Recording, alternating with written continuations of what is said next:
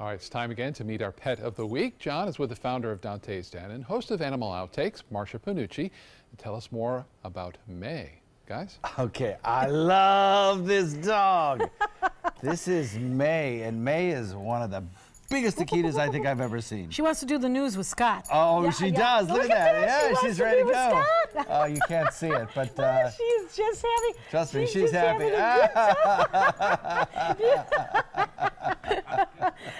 know, this is what's so beautiful yeah. about live television and yeah. being here with you and uh, Scott. Scott, you should do this segment. Yes, because you know we you. get to see the dog at right. its very, very best. And this is May. She is an Akita and uh, she is 10 years young. Now, you really can't tell. this breed of dogs, well, once they come out of puppyhood and then they mature, uh, they could be any age. They just are gorgeous dogs. And of course, as you know, the Akita is the uh, product of uh, the emperors of Japan.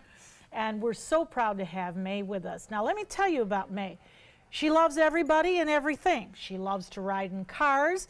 She loves to play. She loves to walk. I mean, she is just, when God made this dog, he made a perfect, perfect dog.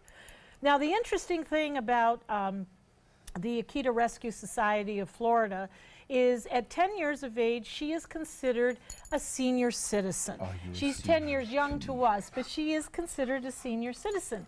And because of this, John, the Akita Rescue will uh, pay for her wellness exams. Wow. If she needs glucosamine, if she needs uh, medication to keep her young and vital. That's significant. They will, yes, yes. So she, even though she may require a little assisted living, she's got it taken care of by the Akita Rescue. Wow. Isn't that something? That is really But amazing. she, oh, and she loves to do the news. So I think after this, we'll just let her sit with Scott. She is the most beautiful dog. Isn't though. she, Though? Her coat is fantastic. Yes, and she, she and just. What a sweetheart. She is a sweetheart. And you know, uh, just because of her age, uh, at 10 years, uh, I would suggest that perhaps she goes into a home with teenagers, mm-hmm. older children, or perhaps just adults. You know why? She doesn't want to chase the squirrels anymore, and she doesn't want to herd up the kids, but she wants to have a wonderful, active life where she can sit on the couch next to you.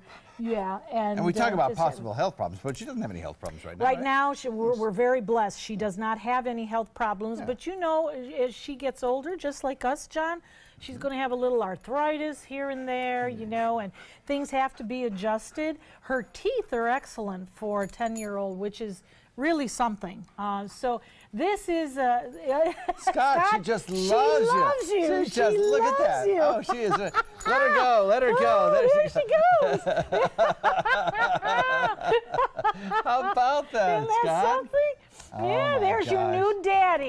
yeah. yeah, sweetheart. Yeah, yeah.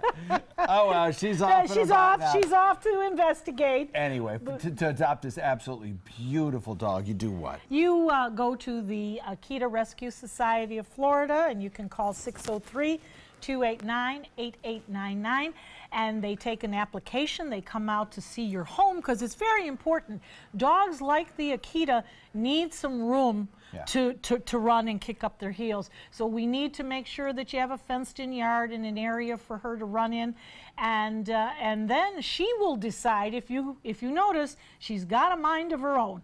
And she will decide whether she wants to go home with you. Very special, loving dog. Give him a call. Thank you so much for bringing her in today. Thanks, John. Good to see you again. Good to see you.